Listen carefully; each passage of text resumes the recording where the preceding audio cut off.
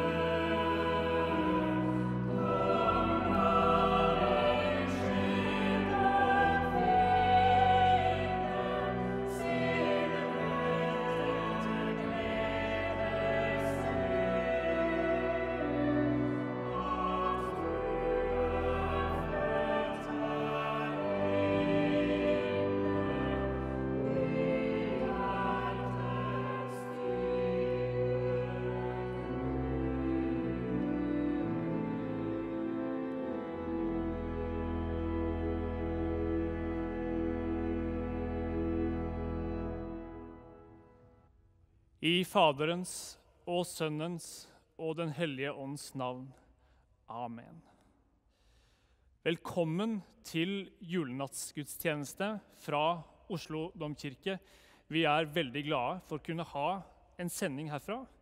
I kveld også med helt nyskrevet julenattsmusikk av komponisten Andrew Smith. Og programmet for gudstjenesten kan lastes ned til høyre for hovedbildet her.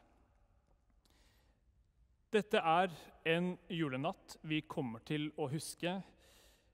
Det ikke å kunne være sammen på vanlig måte, alle forbeholdene som må tas, vakuumfølelsen som preger de få møtene vi kanskje har, tydeliggjør for oss hva som faktisk betyr noe, hva vi savner.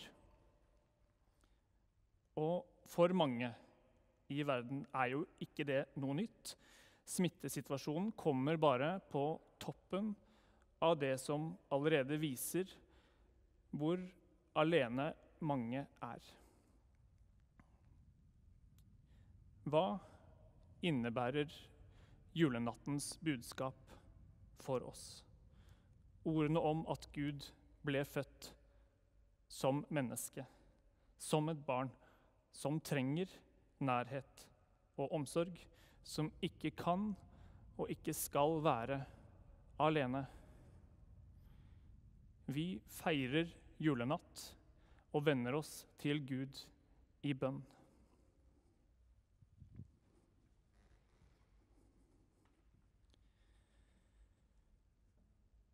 Gud, du overga din sønn som et nyfødt barn i menneskers hender.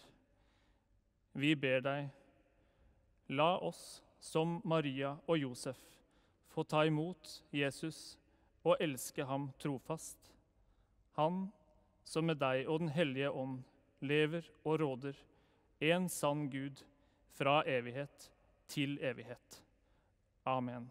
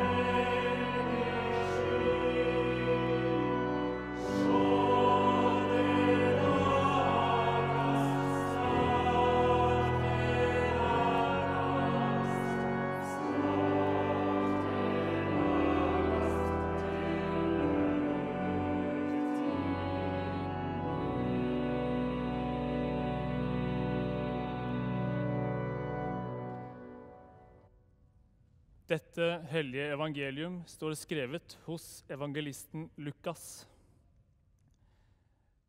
Det skjedde i de dager at det gikk ut befaling fra keiser Augustus om at hele verden skulle innskrives i manntall.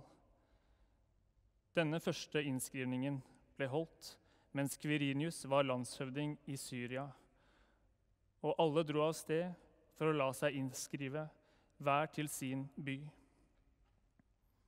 Josef dro da fra byen Nasaret i Galilea opp til Judea, til Davids by Betlehem, siden han var av Davids hus og ett, for å la seg innskrive sammen med Maria, som var lovet bort til ham, og som ventet barn. Og mens de var der, kom tiden da hun skulle føde, og hun fødte sin sønn, den førstefødte. Hun svøpte ham og la ham i en krybbe, for det var ikke husrom for dem.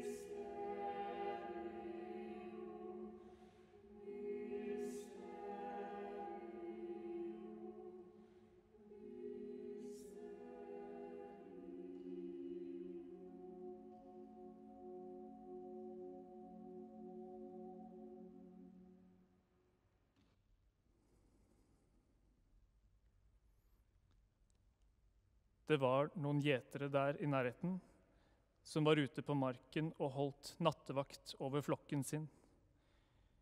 Med ett sto en Herrens engel foran dem, og Herrens herlighet lyste om dem. De ble overveldet av redsel. Men engelen sa til dem, frykt ikke. Se, jeg forkynner dere en stor glede, en glede for hele folket. I dag er det født dere en frelser i Davids by. Han er Messias, Herren. Og dette skal dere ha til tegn. Dere skal finne et barn som er svøpt og ligger i en krybbe. Med ett var engelen omgitt av en himmelsk hærskare som lovpriste Gud og sang.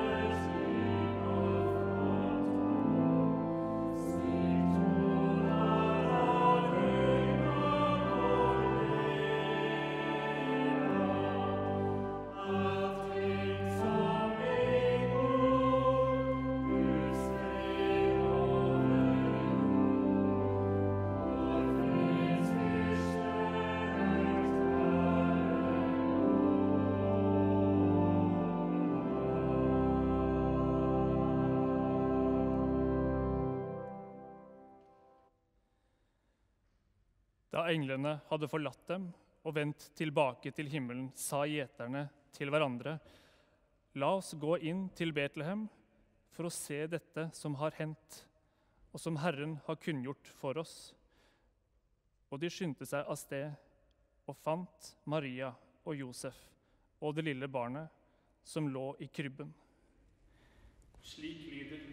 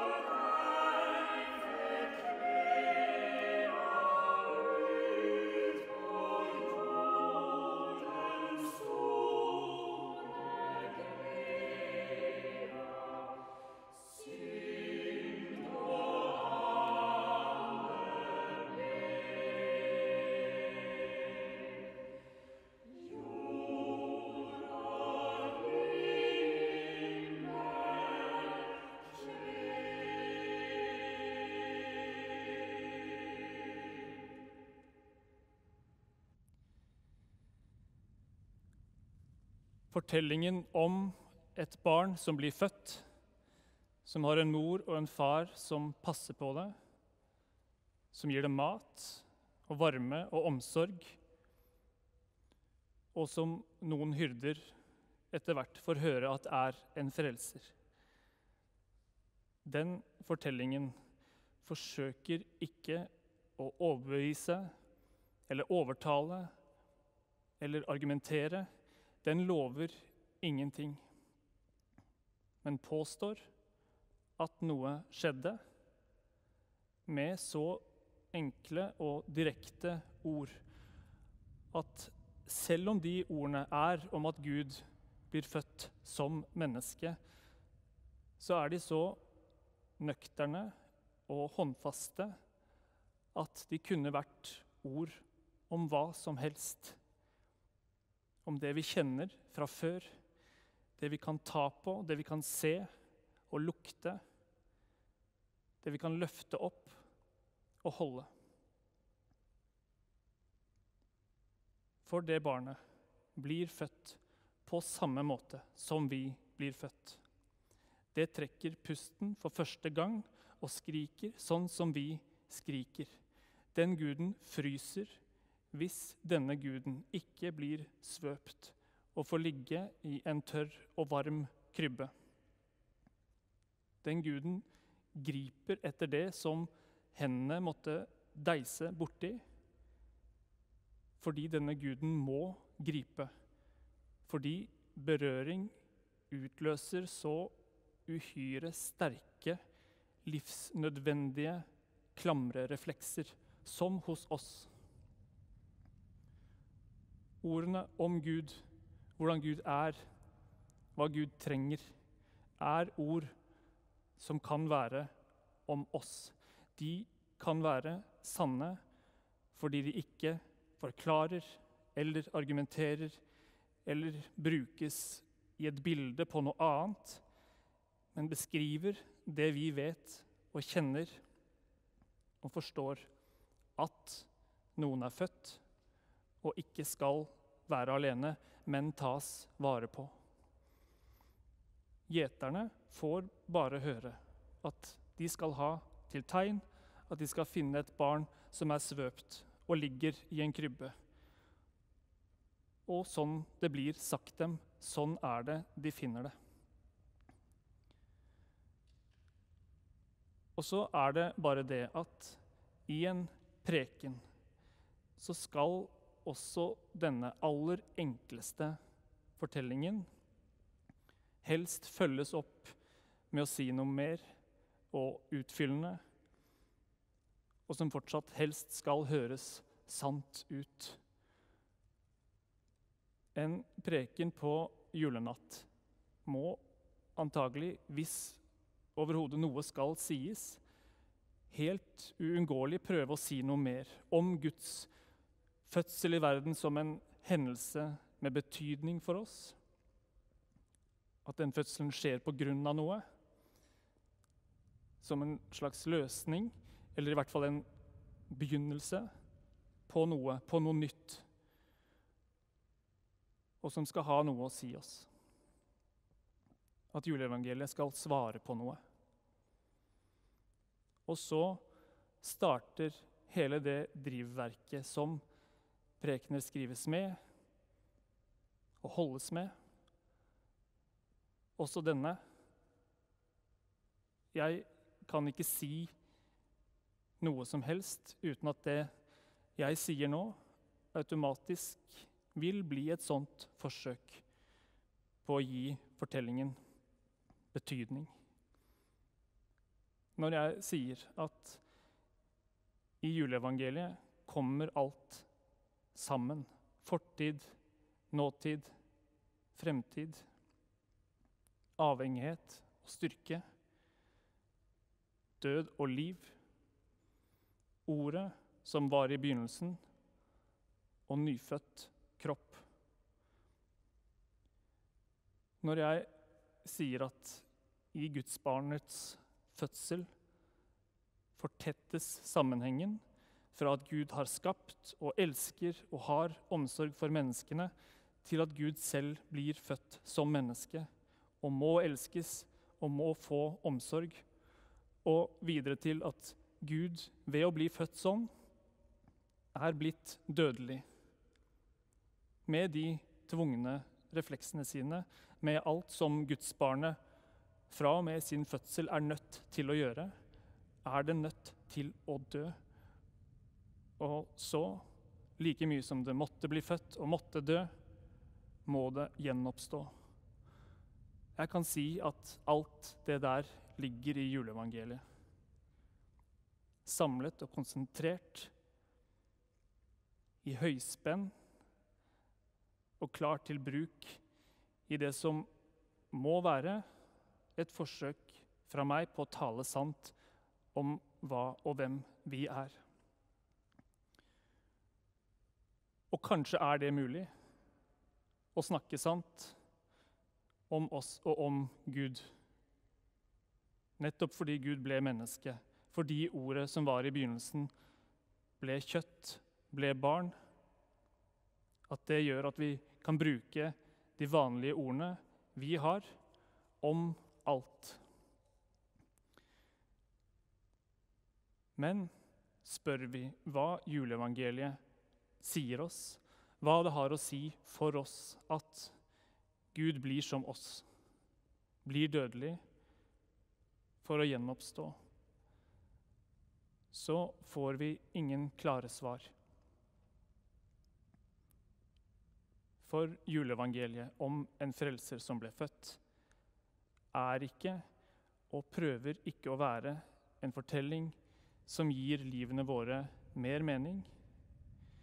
Juleevangeliet er ikke et tegn som gjør livene våre mer forståelig eller lettere å leve.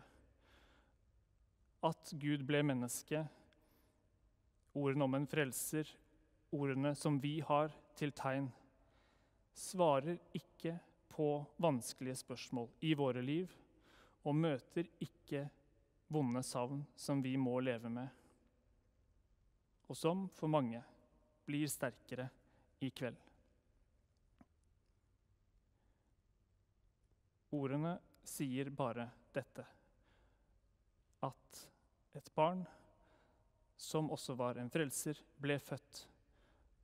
Og da, som nyfødt, trengte det omsorg av foreldrene sine. Det vet vi at ordene betyr, fordi de kunne vært om oss. Vi vet og kjenner at vi trenger hverandre, at vi ikke kan og ikke skal være alene.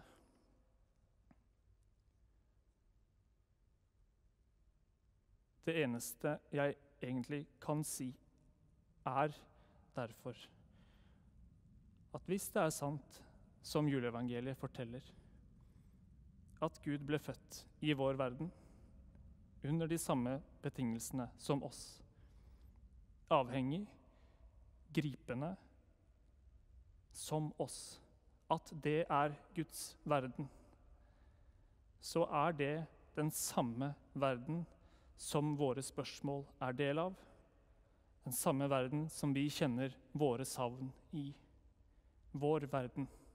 Den vi kjenner, den vi kan ta på, holde, høre, snakke om og bruke ord om.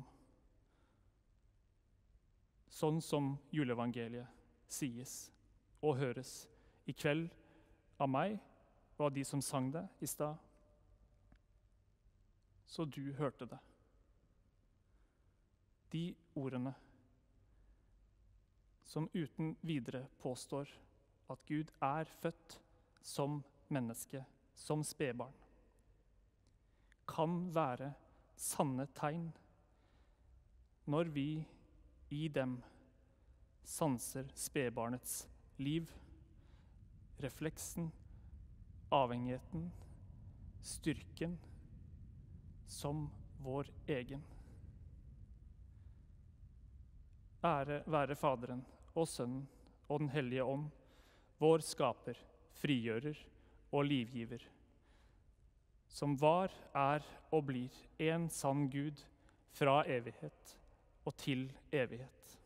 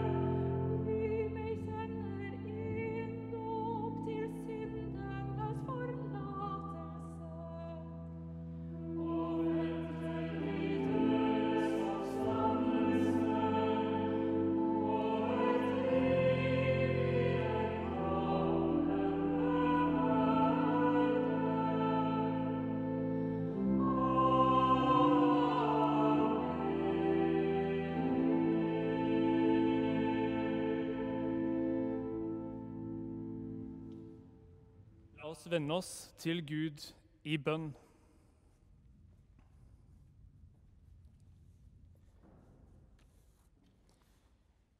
Gud, du som ble menneske og tok bolig iblant oss. Vi ber for verden du har skapt, og som du ble født inn i. For naturen, for klimaet, for artene som er truet. For menneskene som mister livsgrunnlaget sitt. Gi fred, frihet og rettferd for folk og nasjoner. Gi oss evne, vilje og mot til å dele jordens ressurser på en rettferdig måte. Det ber vi deg om, Gud.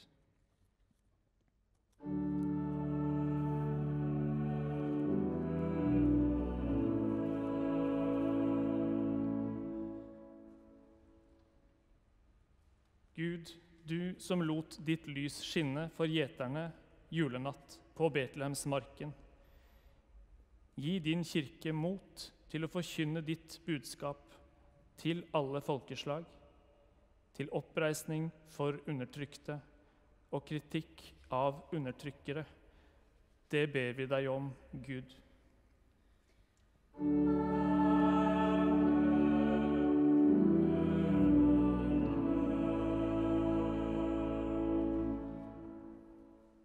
Gud, du som fra din fødsel til din død var underlagt de samme vilkår som oss, sanset det vi sanser, trengte det vi trenger.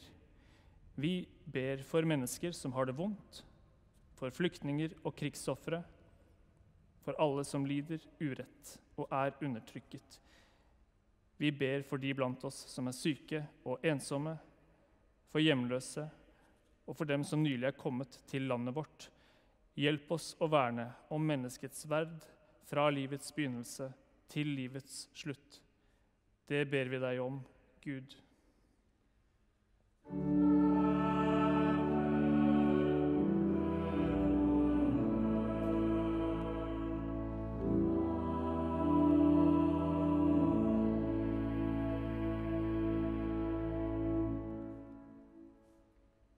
Vår Far i himmelen. La navnet ditt helliges. La riket ditt komme.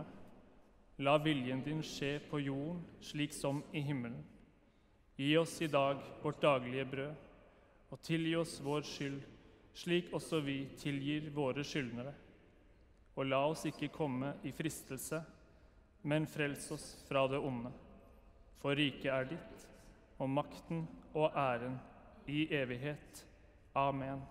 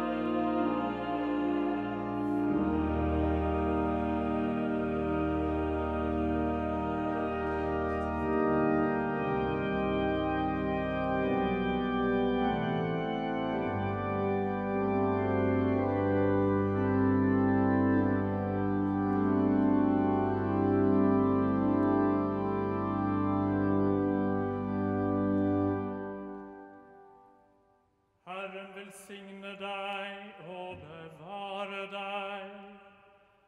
Herren la sitt ansikt lyse over deg og være deg nådig. Herren løfte sitt åsyn på deg og gi deg fred.